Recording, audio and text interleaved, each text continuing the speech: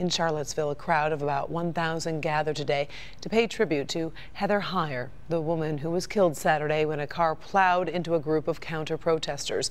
Kimberly Gill joins us now with a powerful message sent today during the memorial. Kimberly. Hi, Karen. Good afternoon. And in that crowd of 1,000 were family, friends, even strangers, all there to honor the 32 year old who was killed while protesting hate.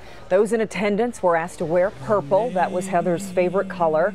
Also in attendance was Virginia Governor Terry McAuliffe and Senator Tim Kaine. But it was Heather's mother who brought the crowd to its feet twice.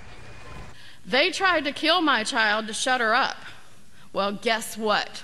You just magnified her.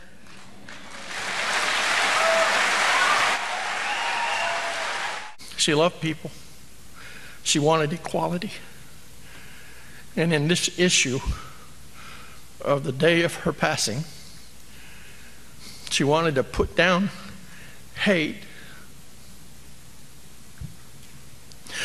And for my part, we just need to stop all this stuff and just forgive each other. Now, her friends say she joined the counter protesters to oppose racism and injustice. Police have charged James Fields in the attack. Right now, he's being held without bond and faces second degree murder charges. Karen, I'll send it back to you. Her parents, they were just amazing today. They were thrust in the spotlight, and their words just so really resonated with everyone. Yep, yep, indeed. All right, thank you, Kim.